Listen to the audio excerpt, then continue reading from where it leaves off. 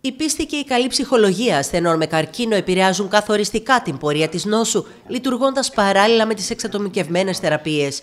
Σε διμερίδα για την ψυχολογική και επιμαντική προσέγγιση του καρκίνου, επιστήμονες μοριακής ογκολογίας και βιολογίας, κλινικοί ψυχολόγοι και σύμβουλοι ψυχικής υγείας εξήγησαν πόσο η ψυχική υγεία ενός ανθρώπου που νοσεί είναι ικανή να βελτιώσει καταρχήν τη στάση ζωής του απέναντι στον καρκίνο.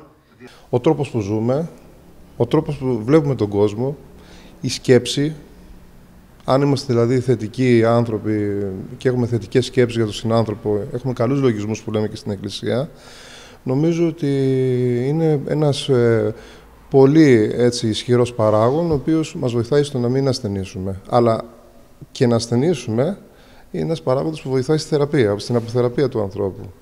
Άρα το ότι έχω καρκίνο δεν σημαίνει ότι τελειώνει και ο κόσμος, αλλά μάχομαι.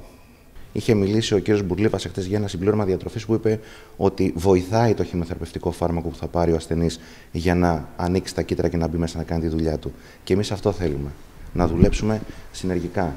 Να έχει επιστήμη και την, ψυχο... την καλή ψυχολογία του ασθενούς και την πίστη του για να μπορέσει να δώσει αυτή τη μάχη. Γιατί δίνει μια μάχη και πρέπει να την κερδίσει.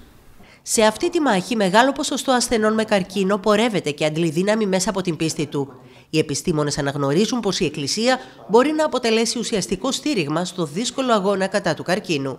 Η Εκκλησία έχει συλλάβει το νόημα ότι η ψυχή προηγείται του σώματος.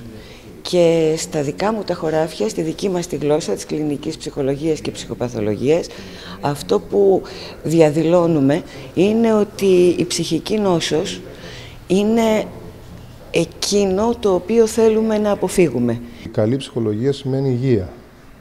Όταν λοιπόν ένας ψυχισμός επιβαρύνεται από διάφορα σημεία και υπάρχει μια πολεμική κατάσταση, τότε ο άνθρωπος ναι, θα ασθενήσει.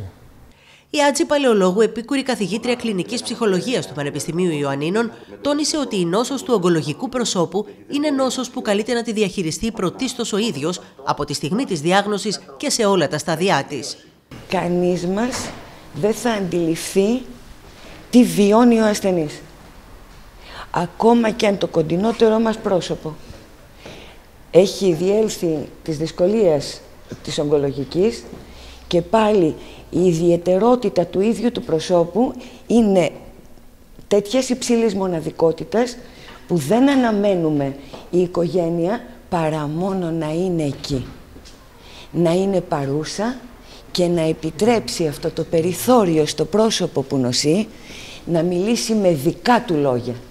Την διημερίδα οργάνωσε η Ιερά Μητρόπολη Κιδωνίας και Αποκορώνου σε συνεργασία με την Περιφέρεια Κρήτης και τον καθηγητή Μοριακής Ογκολογίας Σταύρο Δέρδα.